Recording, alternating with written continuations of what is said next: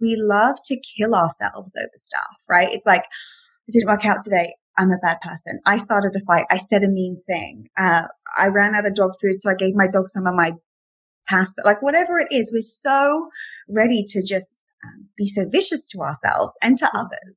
Mm-hmm. And I think if we could just be easier, not only would our health improve, but I think a lot more starts to go your way.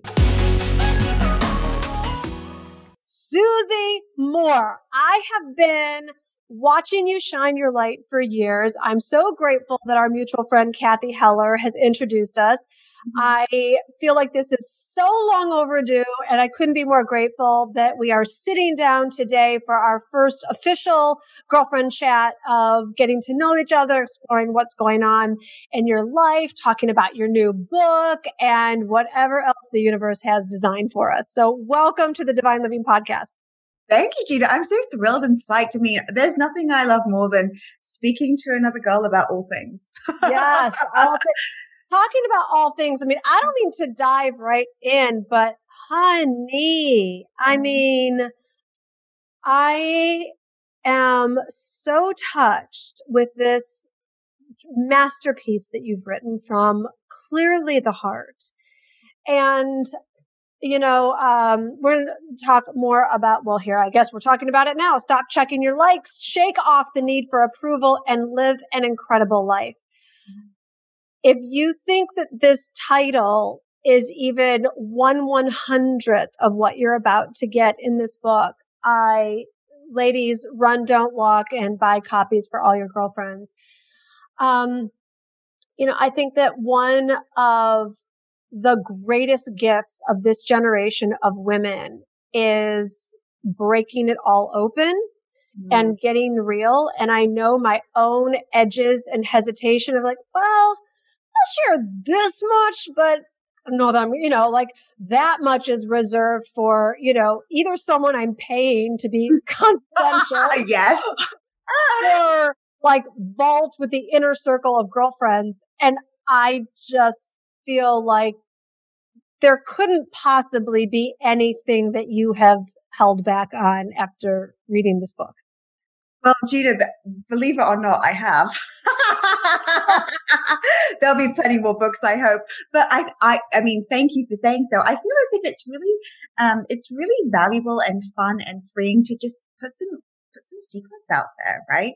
You know, your secrets can own you a little bit and the things that can make you feel shame. And so if you just mm-hmm. say, yeah, grew up on welfare, mental illness my family, addiction, etc. Um, a lot of people have experienced not similar things, but similar emotions. We can relate on a human level. So I think it's a very generous thing to do to share your story. And I hope more and more people do it. I love consuming stories, real stories from real people. So thank you for saying so. Yes, yes. So, I mean, we kind of just glazed over there a little bit. And since, um, if everyone doesn't already know your story or hasn't read the book yet, why don't we give them the snippet? Cause you will get the details in this book. Um, and because there's some questions that I have for you around this, Susie. So why don't you, uh, share your story? Yes, of course. Uh, well, I grew up in the UK and my mom's Polish, my dad's English. We moved around a lot. My parents were actually never married. And I mean, it's almost, I mean, how long have you got, Gina? I'll give you, I'll give you my overview. We moved around a lot because my mom was physically afraid of my father. There was domestic violence in our home. He was an alcoholic. He died of addiction when I was 19. We lived in many shelters. I went to many, many schools. I don't remember how many. And I left home when I was 18, went to Australia. Um, got married, got divorced, met my now husband, came to America. So I've been around the block you know? Um, mm-hmm. and I think just experience a lot of different things. And I mean, life is full of different experiences for everybody. They impact us differently. And I feel is the most, the most important thing isn't the experience or the outcome, but just always the, like, the blessing, the story, the interpretation that we take, which mm-hmm. is, I mean, so beautifully always in our power and no one else can shape mm-hmm. our story. And so, yeah, a bit, lived in different places, experienced lots of different things, but see blessings in all of it and continue to as things still, even when they don't go my way now, I always mm-hmm. think there's going to be a blessing. Even if I don't feel it in that moment, your history with the universe will always prove to you that there is something waiting. And if you're taking sport too soon, you might think something's bad, but I think that we can just relax more into our life. And when we look into our history, that can help us do that. Oh, so ladies, if you're hearing her kind of be like, yeah, there was this and there's domestic violence and there was shelter, like you'll see she's not just sing songy here. Like she's done the work so that it is not hooking her today. Mm-hmm. And I think that, you know, what I, what I was so grateful for in reading your book, Susie, is realizing how many of us let our stories or our, our perception of the stories or our association of the stories um, hold us back in adulthood. And you just seem like this, like the sail, your sails are in the wind, and you're just like, "Yep, not letting this hold me back." like, well, is it uh, true? Yes. Well, I I have the, the, way that I look at the world, and this is actually Adlerian psychology, Alfred Adler. He says that the present creates the past. All right, let's soak that in. Which the present funny. creates the past. Tell, tell us more about it. Because we learn through traditional psychology and determinism that what's happened to you in your past creates your present, right? So you have trauma around maybe marriage or money or uh, like really anything, any of our beliefs that aren't helpful. And we like to cling, right? We like to cling to things that can be, uh, that then just continue to show up for us. For example, just say I thought, oh my gosh, I can never trust men because, you know, um, men are dangerous and they're unpredictable and we're not safe around them then that could be my present, right? And in, in my present moment, that would be serving me somehow. There would be a benefit there. It would mean probably I wouldn't have to be vulnerable and show up in an intimate relationship. I wouldn't have to use my courage. I wouldn't have to um, you know, take the risk of being myself with somebody.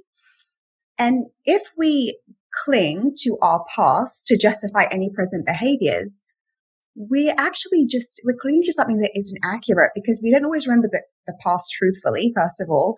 And also, if it's true that there's a cause and effect model, you know, this happens, so then this, that would then mean that every single person like me who had a history like mine could never find a happy marriage, could never find a happy relationship. And this cause and effect model, it's really flawed.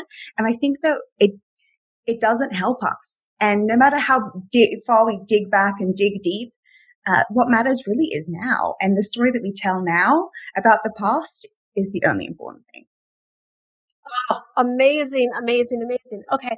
So I've worked with women for 20 years mm-hmm. and so oftentimes one of the excuses, um, but yet it feels very real. One of the excuses that women tell, and I'm outing myself here, like I am, I am to a degree part of the camp I'm about to uh, talk mm-hmm. about is so much of, of the businesses that we have, they're personal brands and our personal brands are built from our stories and usually uh, who, what we've overcome and what our stories are. And as a result of those, we become the women we are and our stories are linked to other people's stories. Mm-hmm. So oftentimes I'll hear people say like, I don't want to start my business because of what the family will say. Or, mm-hmm. um, I know in my own case, I haven't gotten into details about certain stories because those people are still alive. And I'm like, mm-hmm. well, is this my place to tell this story? And, and then I read yours and I was just like, like I'm still holding on to that as in a holding back. Mm. But I just feel like you're just free. So like how have you come to terms with telling your story considering that not everybody is still on this planet, but some are and who you've discussed? Mm, yes. That's such a good question, Gina, because I feel like a lot of people hold back and they think that uh, it's being polite and considerate. And that is true in a lot of cases. I feel like it's almost a bit of a decision because it's still your story too. And you're allowed that. Like you're allowed to have your story. And when we make the focus, I think the people who are going to read or consume, watch, however we present it, what we have to say, if our intention I always think if I, there's something that I know that's true or that I've experienced that's going to be useful, then there's a bit of an obligation for me to do that. Because mm-hmm. when you think about it, the people who've inspired you, it's because it's not because they're like kind of hiding right? Or like pretending that mm-hmm. there's something that, you know, that maybe doesn't feel quite real. It's because they're like, yeah. And then And then I had, you know, my abortion and it was the hardest thing. And then you're like, oh my gosh, maybe I haven't had that experience, but I've done something where I've just really questioned it and I felt guilt and all these things, whatever it may be. And so I feel like when I consider the bigger picture of, you know, not just my family, not, not just, you know, the people in my life, but thinking about, you know, my temporary existence, what I'm here to do, what I feel is in my heart to do, what I've been put here for, then that's my biggest, like that, that's, I have to answer to myself at the end of it all, right? Um, and so mm-hmm. I, I, I, don't want to feel regret there. And then I feel there are also ways that you can be delicate. You can change a few names. I mean, there's plenty. I mean, thank you for saying that I left nothing out. I left a lot out. More to come. When you referred to your mom. oh, I, well, I, I actually shared it with her before I published it and she's, she's okay. She's like, it's your story. It's your story. And wow. she's, she's older, you know, she's, and we understand each other in a different way. So our relationship isn't um, perfect, perfect best friends like some have with their mum, but that's also okay. Like that's also okay. It's, it's certainly good enough for me. And she understands that I have to do my work. And frankly, it's not a discussion. It's what, what I believe is fair. what I believe is fair as a human. And then it's, it, it's easier for her to be accepting. Was it, was it a process for you to get to the place within you that it's not a discussion or are you just yes. like that? Yes, I feel like you do it bit by bit. Like I've been writing articles for years about divorce, about death, about making the wrong decision, about losing friends. About, I mean, all sorts of things. I've, and I feel like this is how we chip away, right? It's like you take a little bite of bravery, a bite of bravery, and then mm-hmm. suddenly you've taken, you've like the, the, the pie's gone, right? Like the big fear of fear pie. It's like, well, I mean, there'll always be a new pie, but I feel as if like these little chipping away, doing, doing like bits and pieces here and there. Um, someone once said to me, if you don't, if I don't feel nervous every time I hit publish, it's crap. Like what I'm putting out is crap. And I mean, I don't always feel really nervous, but I, I like to feel a little bit uncomfortable. Isn't that what we're here for? I, I felt uncomfortable when I submitted the final manuscript for my book. I was like, mm-hmm should I in, in, include that detail or could I just smooth that over or would the story be as compelling if I didn't put in the specifics? Um, yes. Um, so I definitely get that there for sure. Yeah. Well, I feel so the way that I define confidence is a little bit different, right? Because uh-huh. I feel like everybody, well, we, we all interpret different qualities differently, but when you think about confidence, often you think it's someone who's a really great speaker, right? Or somebody who just is always winning at work or just has it together. And I just, the way that I define it is just simply a willingness to be uncomfortable. And when you're willing to be uncomfortable and to get it wrong even and to be judged and to be disliked, uninvited, whatever it may be, when you're willing for that to be the case, knowing that everything is temporary anyway, mm. it just gives me a lot of peace and a lot of courage to to keep going. And frankly, just not taking it all so seriously. I think that's a big savior too. We love to think things are so serious, don't we, Gina? We're like women, right? life and death all the time. Don't take yourself so seriously. I'm like, but this is my brand or business or. But how much? How much is really that dangerous? Like when you think about it. So someone did the wrong Instagram. Okay, uh, so there was a mistake with a refund. There was a mistake with in an email. It's really, exactly. it's, not, it's not as dramatic as we think. And it's really unhealthy. It's bad for our nervous system when we think that everything is so dramatic. It's like we're in this constant state of stress, our body becomes addicted. And then what? We have no energy for creativity and pleasure and all the other things that we're meant to enjoy. Oh, you know what? I'm to, so something happened recently that I, I took really seriously and, um, it was a conflict with a, a another human and we had a very different point of view and it wasn't exactly a locking of horns. It wasn't like that, but, um, there was definitely an impasse, shall we say. Mm-hmm. And I didn't like the way things were handled. I didn't like the way it went down. And I told myself, I'm just going to let it go.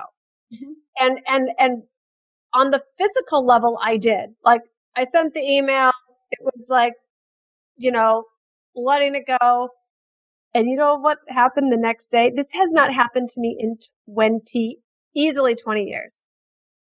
I got this huge canker sore on the inside of my lip. Uh, and I know enough to know that that's about, you know, like holding mm-hmm. back anger and resentment. And I was like, Oh my goodness, Gina, like this, like talk about like we must rise to the higher level. We have got to stop taking, like, at the end of my days or even like two weeks after that situation happened, like, do you think I'm even thinking about it? It's like, and I let my body developed like this cake, like we have got to evolve. I, I'm talking to myself right now to a higher level of mm-hmm. emotional maturity because it is damage to ourselves, truly.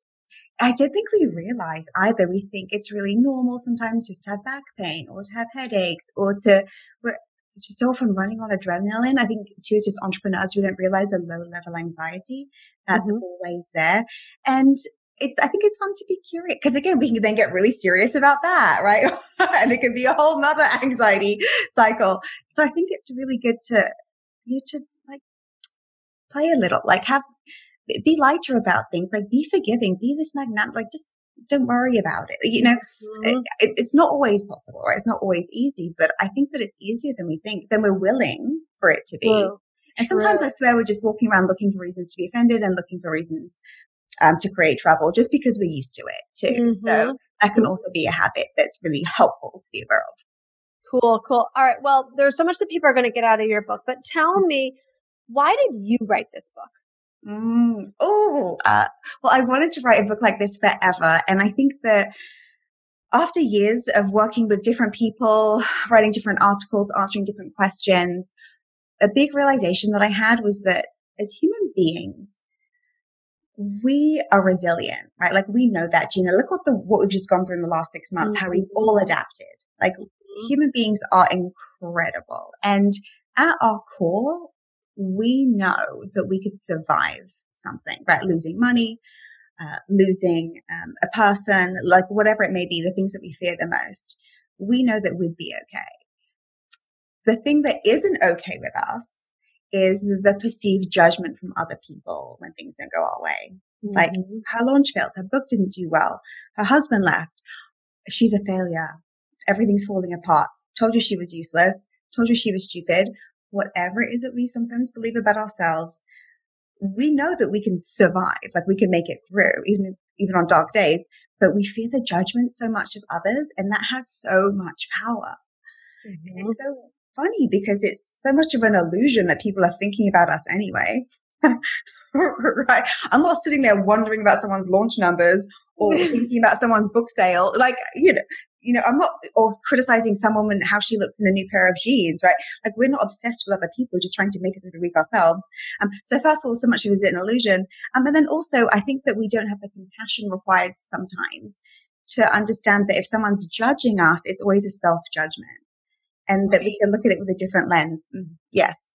I mean, the, the worst judgments outside of like, I don't know, not the worst judgments. I would say that the, the, the petty judgments that I have been tempted to let myself get taken out of the game on the most mm. were all from people who hadn't accomplished one one thousandth of what I have. Mm-hmm. And that they have the audacity to judge, poke, point a finger, complain, like whatever it is. And I've never had judgment from anyone even close to my level or beyond. Mm-hmm. And it's like, so it's like, mm. why don't we just get that it is for the projected insecurity and the, the, the whatever else. And yet we're tempted to like drop to that level. Yes, it's, I mean, it's fascinating. I, I included this in my book, but it was actually an interview I did with Kris Jenner for Marie Claire magazine a few years ago that really helped me with this because when our article went live, well, her team tweeted it. They tweeted and tagged um, Marie Claire and me. And I saw all the wrath. Like I won't say the, on your lovely podcast, but death threats, sexual animals, like disgusting. And I'm like, you think Kris is reading any of this? She doesn't even know how to log into this account, I bet. and whatever you think about that family, I mean, they've done very, very well, you know? Mm-hmm. And so I, I remember just thinking, she doesn't, she doesn't even know. Mm-hmm. And going, huh? And look at, look at her. And she even said, you know, um, I'm, I'm, I care about what God thinks of me. And I, you know, strangers on the internet, it's kind of just not my business. Mm-hmm. And I, that, it just, it really helped me just having that conversation, seeing where she is and seeing the wrath that family gets too. Mm-hmm. Um, and just them really, of course it hurts because, you know, we're human beings and it hurts sometimes, but, um, uh, like what, like what's allowed in and what isn't like love in, love out. Mm-hmm. Like it, that that's not going to work around here. Like, well, that's not going to last around here. Mm-mm. So you wrote this book to help people. Oh, a few things. I think largely a big part of it is taking everything a bit less seriously. Okay. My chapter in there, which is called So What, is probably what I've had the most feedback on because we love to kill ourselves over stuff, right? It's like, it didn't work out today. I'm a bad person. I started a fight. I said a mean thing. Uh, I ran out of dog food, so I gave my dog some of my pasta. Like whatever it is, we're so ready to just um, be so vicious to ourselves and to others. Mm-hmm. And I think if we could just be easier, not only would our health improve, but I think a lot more starts to go your way mm-hmm. when you're willing to not be in a state of stress and the stresses aren't all around you or just perceiving it differently. So personal freedom, being able to become a higher level of yourself because your energy isn't used in silly ways. Uh, and then also like the magic of what you can become when you're, I wanted to really highlight what you can do when you don't believe in the limits that other people believe for you. And also when you're just simply willing to be uncomfortable because all emotions are temporary, good and bad. And if the worst thing that can happen is a feeling, then what more could just simply be available to you if you're willing to have some uncomfortable feelings? What would you say uh, one of the top categories or category that you see other people limit themselves in that you just you're not available to be limited in? I'm not interested in criticizing myself physically ever. Mm-hmm. Ever. And I mean ever, ever, ever. I mean, I actually, a friend said to me recently, I can't remember a single time where you said, I ate too much or I, I, I'm getting, I'm starting to look old or whatever. I am not playing that game. Beautiful. Beautiful. I love it. I one of the ways that I've seen you do it is around media. What's your relationship mm. with media? Well, the media is available for everybody. I, I, think a lot of people don't realize this, right? The media loves well, a lot of people stories. don't think that. Yes. But like, so it's interesting because that never felt like a limitation for me. Can I ask what you think the, the limitation is? I mean, I hear lots of different things, but from, in my opinion, someone like you, especially with the book coming out, would be media goals for sure. Well, my book came out March 3rd, 2020. So uh-huh. that was a, uh, we, we had a moment there.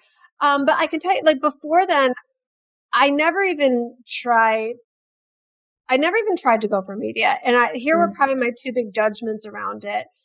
Um, the, there were two very strong, there were such strong beliefs. They were more like convictions. Like mm-hmm. it wasn't even just a mm-hmm. belief. It was like, like I had turned what I'm about to say into fact.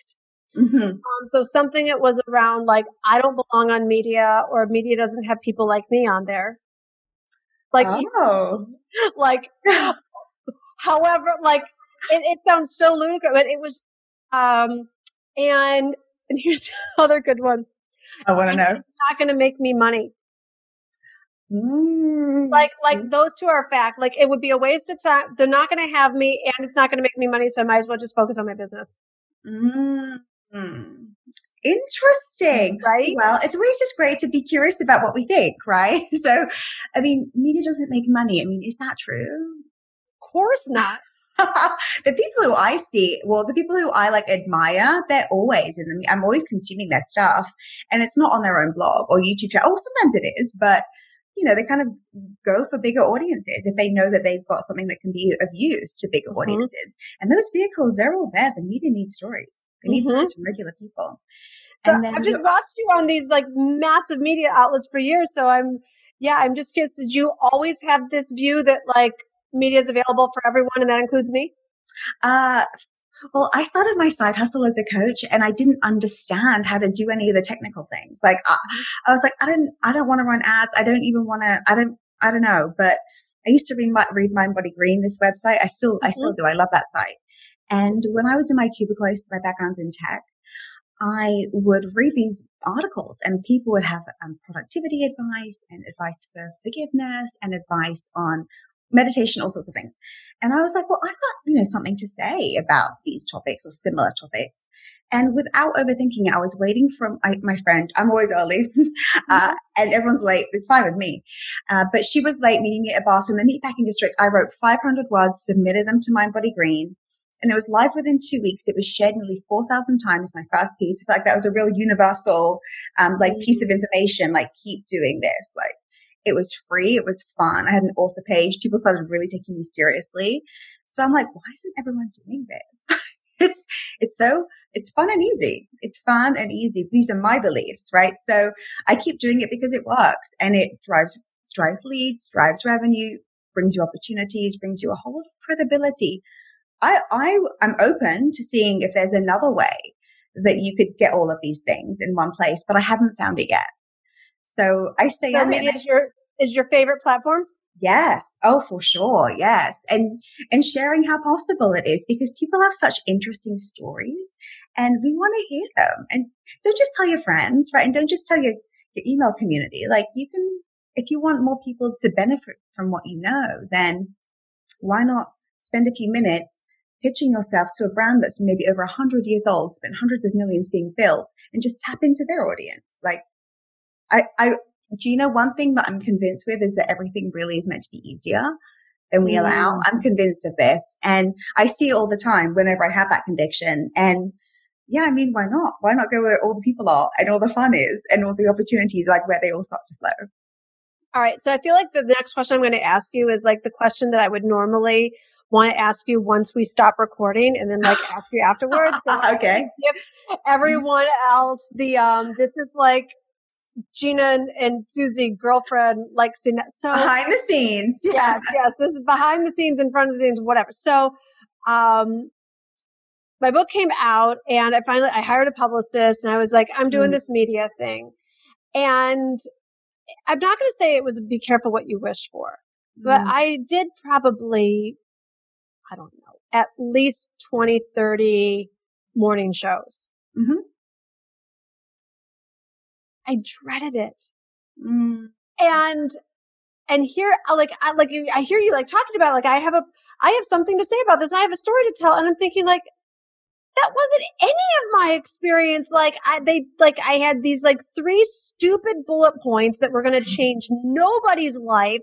And they wanted me to talk about these talking points that was like, it was so damn boring to me. I couldn't imagine who would be like sitting at home with their cup of coffee being like, wow, I'm going to go check that person out. Mm. And I'm like, so I, and then I got on podcasts and I just found like the medium of podcasts. Like I would look at my calendar and I'd see like TV interview, TV interview, TV, interview, and I'd be like, oh, and I'd be like one podcast and I'd be like, yes. Mm. So I'm like, did, do you not have that experience? Uh, my experience is different. Tell well, me.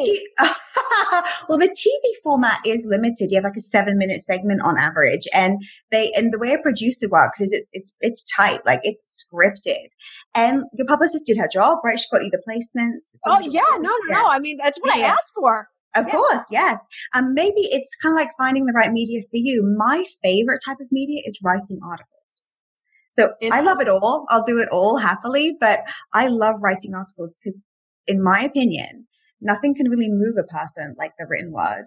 And frankly, it's, it's more business savvy because there is nothing like a frictionless link in an article. So if I write a piece about whatever it is, confidence, um, or confidence mistakes at work that women make, and then I write my piece and then it goes straight to what we call a shirt tail in the media. So my two line bio, Susie Moore is an X who does Y, download her X here, leading to an evergreen webinar funnel.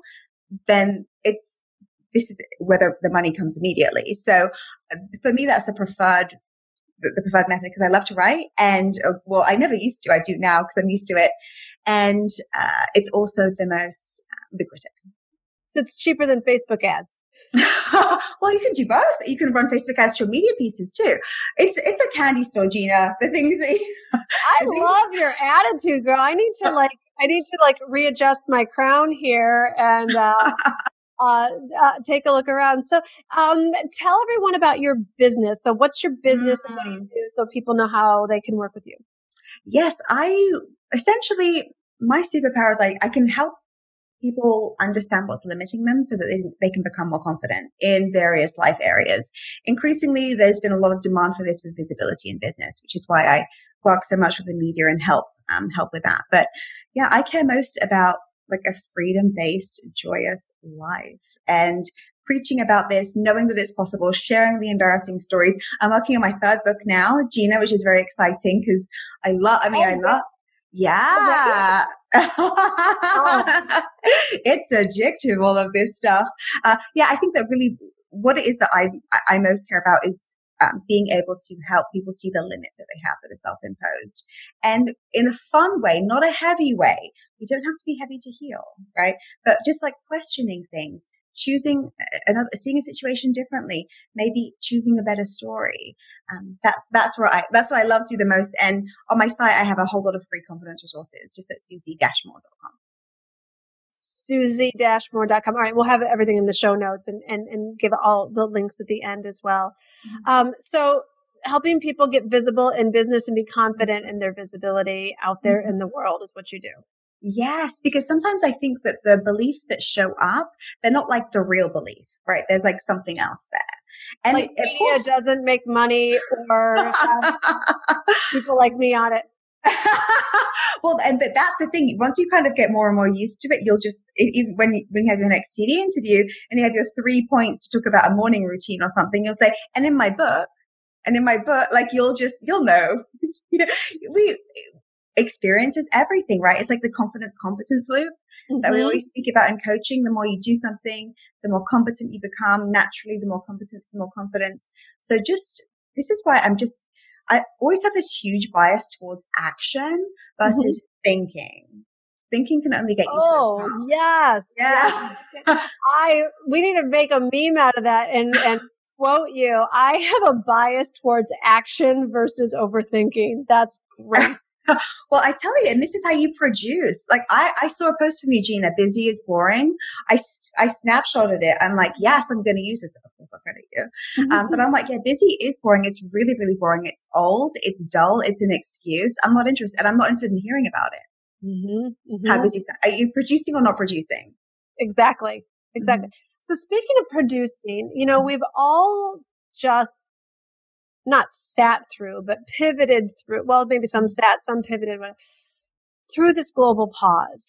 Mm-hmm. And I think it's, you know, for women like us, we couldn't not ask mm-hmm. what is, what's really going on? Not like what's mm-hmm. the news stats, but like what's really going on and what's next for us and what's, you know, once we get out of the frustration of wearing a mask outside or whatever, but it's like, what's really the invitation where mm. do you see yourself, um, evolving next as a result, maybe that you hadn't seen before the pandemic?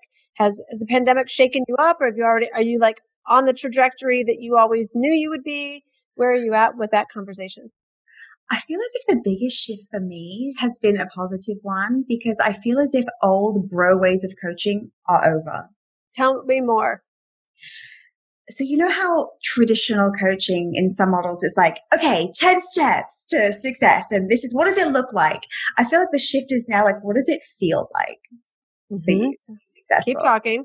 Like this, for it to be so much deeper because we can't go outside, we can't live, we can't do all the things we normally do. So we have to go inside, right? Mm-hmm. Figuratively, metaphorically. Mm-hmm. But it's like, with so many privileges that we normally have, just like being removed, like being really face to force ourselves. I mean, I just wrote a Cosmo article, which is out in November, speaking about like, is this pandemic aging us? Like, what's going on? And there are so, like, you're taking a really like close look at your mate right now if you're living with somebody at home, right? And you're taking uh, an account of like your day to day life, your habits and routines because they've shifted. You you can just really monitor them. There's no really escaping just, you know, mm-hmm. yourself. Mm-hmm. And so I feel as if this is giving more and more rise to the divine feminine, caring more about how we feel and making it less about just a rush and mm. this busy, boring life and just like the go, go, go.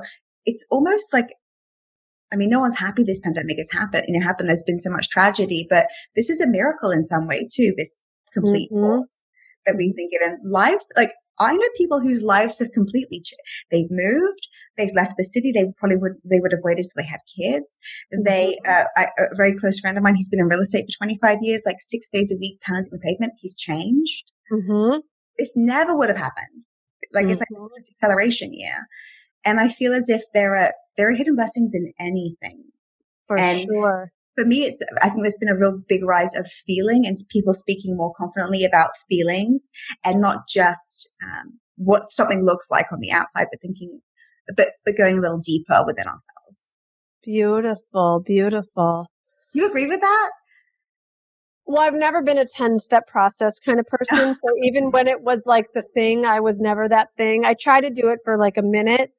Um, like I tried to be popular for a minute, but neither of them worked out for me. Uh, like in high school, I mean. So, um, I think that I love hearing it because so much of the conversation here at Divine Living is, is about being more versus doing more. And it's about being more feminine. And so much of the shift that I've been making in terms of the conversation is, okay, we've gotten divine working down. A lot of us are, not everybody, some people are still stuck in jobs that they don't like and they're looking for something better. Uh, a better, more aligned purpose. A lot of the entrepreneurs, like we've gotten divine working down, but what about divine living? Mm-hmm. And returning to some of the feminine arts and prioritizing play, pleasure, like like whatever living is to you. Is it painting? Is it dancing? Is it the beach walk? Is it um, cooking? You know, like just really, uh, you know, as much as is responsible or we can right now, like time with girlfriends or um, whatever it is. So I think that hearing that that's your slice of it is is really um, exciting to me. I I mean I think so too, and I I, I just can't get away from the fact that I just I don't think that this would have happened. Something dramatic at something dramatic had to shift for us to shift and to see mm-hmm. a different way of looking at the world, and to also frankly realize that we're I mean, uncertainty is part of life, right? I know we can all feel very powerless right now, in addition with everything going on, but we have complete power within us, like within. I could not believe when everyone was like in these uncertain times. I'm thinking like, that is probably one of my most favorite words. Like I get, I clench up when things are too certain and too rigid. It's like I dance much more and I breathe more deeply and the spontaneity and the, and my husband, he's so like the empowered masculine. It's like if I even say like, oh, was thinking of going to where he's like booking plane tickets, and I'm like, it was just uh, like I don't like, hey, do you want to do like sushi on Friday? But what if I feel like Mexican instead? Like, you know, um, so I uh, uncertainty is not a scary thing for me. Mm, and the thing is, you kind of haven't got a choice because uncertainty's life. Well, then there's that. Yeah. well, but so good, good that you like it, right? But it's like so often we think all of a sudden it's uncertain. It's always been uncertain. Right? right? It's like anytime that we think that we have been able to control our lives and what's going on, it's like, like taking over the God job. It's, mm-hmm. um, it's, it's not a job I want. That's, that's for sure. That's why I so much prefer the, the feminine and the spontaneity and the, you know, ability to see things not as they are, but as they could be and mm-hmm. being in that, that creative vortex. And when you are willing to embrace change, then you, there isn't suffering. Mm-hmm. Right. Because, because you only lose what you cling to, right? Whatever it is, like a way of living or a fixed routine. Uh, like where is the loss, right? The loss is a perceived, is a perception, like there, there is a loss here. And I think that when we can embrace change, embrace the permanent uncertainty that has always been and always will be, then this is also where a lot of freedom is and fun. And I think this is also what makes someone a magnetic person because they're not, you know, you know, when someone's like, gotta, gotta be this way, very rigid, it's like in nature that doesn't survive. Mm-hmm, mm-hmm. So, so when we can, you know, be a bit lighter about it, be more flexible, allow it, allow things to be. Yes like like you said, not doing the God job. I don't want that job. Oh, oh I got enough going on, right? Sure. And just us conditioning ourselves that like it's all happening for us, not to us. It's all happening for us, not to us. And you know, I've gotten like, I remember like something happened recently. I forget what it was. I wasn't invited to something. I forget. And like, mm-hmm. I I noticed like the the the old, like the younger Gina, actually, like, like the old Gina would have been like tempted to get my feelings hurt. And I've like, as a result of writing my book, I've really conditioned myself. And that's like, oh, okay, I wasn't meant to do that Sunday afternoon. Like, so what is meant for me? And it's just like kind of quickly, uh, like really getting how much we're being guided. I had, um, you know, a, a team member sub- submit a resignation. And in the past, I would have been like, Oh God, this is the worst time in the middle of a launch, like, like and resentful and like, like put so much into the training and like, and I just immediately was like, Oh wow, I wonder who's going to fill the position next. It's like just knowing that it's like, ah, the universe is doing things that, and once you've conditioned yourself that it's only for your good, that only good can come from it. You just get to be in the state of curiosity and playfulness. And as you say, not taking yourself so seriously. Oh, I, I swear that the, the ego is at its worst when we're taking everything personally. Really mm-hmm. anything actually mm-hmm. personally. This is the ego at its worst. The ego also at its worst is when we think that we're not as good as other people.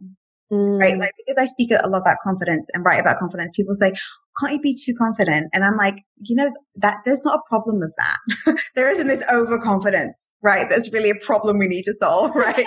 and we can often just think that would be ego, but it's not, right? And when we're like, someone resigned, it's about me. Um, someone didn't invite me, it's about me. We have no idea what's going on. Exactly. No exactly. Idea. Someone might be like, I mean, I, I always love these stories because um, if ever there's an example where I, I got worked up about something and it turns out that someone actually they were in hospital, right? Or I thought someone didn't get back to, and it's like, you know, she actually, um, she's really going through a hard time with her husband, right? And I'm like, well, I just thought, cause, cause I'm the center of everything. in my, in my movie, I am, right? But everyone else has their completely different movie and we just like, we play a part in that movie and nothing is the same. We don't see any of it the same mm-hmm. which is mm-hmm. also helps you be really accepting of other people. Um, but it's whenever I think I'm taking something personally, I realize that my ego is just like having a field day. And I'm like, mm. hmm, isn't it so funny that everything is about me? Everything everyone does or decides is about me. it, it's, yeah, it, it, can, it can become quite funny uh, when you start to do this regularly. Mm-mm. So completely switching gears here. So I hear you live in Florida? In Miami, yes. In Miami. Tell me about how long have you lived in Miami? It's been one year now. So we left New York after 10 years last summer, and now there are a lot of New Yorkers here. That's what I'm hearing. Yes, I tell you. I mean, New York will always be number one, in my opinion, right? But it's, I think it's also good to have a change. And if you've lived in different countries or, um, not even if you live in different places, I think that you it's something that you kind of you like, right? It adds to your life experience. And what I like about Miami is uh, there's a big Latin community here, right? It's all about pleasure, right? Mm-hmm. It's not it's not work, work, work. It's all different, and it's also just so physically gorgeous. Yes. New York has a different gorgeousness, right? But it's just like, it really is palm trees blue. I mean, and I'm from England, right? so we think the sun, like we, I sunbathe without sunscreen. Like this is, I mean, I know you shouldn't do that, but I still like doing it. So for me, I just feel like it's heaven. And if, if anyone um, says to me, oh, I'm thinking of moving, I always just say go. If you've had the inclination longer than even, you know, a couple of months, then like why why do we cling to where we live so much? Like, like right? We- How long did it take you? To, when did you have the idea to move to Miami? Well, my husband wanted to for a long time. He wanted to um, live somewhere else, and I was like, no, because New York is, is, such an identity place too. Mm-hmm. And uh, and then once we kind of were seriously considering it, like a, a couple of weeks. Wow! Wow! Super cool. Super I know. Cool. Yeah. Why wait? Why wait? Well, what a what a beautiful place to to live, and has certainly have been for during this past time when being in New York wouldn't have been much fun this year. Yes, yes, and I think like if everything's kind of slowly coming back, like there's a new dynamism. So yeah, I think it's it's important to kind of to follow your heart when it comes to all things, right? Not just your career mm-hmm. or your you know whoever you marry. If you decide to get married, it's not for everybody, but like even small things like do I want to be here anymore? Do I, do I, do I even need a break? We thought we'd be here for a couple of years, but I don't know. We're kind of, we're kind of into it. very cool. Very cool. All right. Well, speaking of following your heart, what is next for you? You're already working on your next book, but what do you see is, is coming up or really lighting you up? What's new mm. around the corner? You know, kind of going back to media, I feel like the message, like messages that I want to share, I just want to have bigger and bigger audiences. And this is my goal. So I'm still consistently always pitching myself, always out there. And I feel as if, I mean, I don't know, for anyone who's authored a book, you know that it's a lot of work for not a huge return, right? In most cases. Yet. So, right. Well, not for compared to many other options that you have with a very quick return, etc. Um, but I feel like if if um, if you have books to write that are within, like you know, within you, then that's I mean that's what is certainly most exciting to me. And then exploring new and bigger audiences in different ways. And what I think I love about creativity too is once you kind of release something, there's space for the new ideas.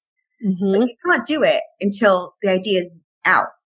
You know, like if someone has an idea forever for a book, they won't get the next idea until that, that book's created. 100%. Yeah. 100%. Yep. So you've got to like, you should like really keep releasing it. And because I'm still creating a lot at the moment, um, I just feel like I have lots of ideas and I'm just excited uh, to keep, keep going.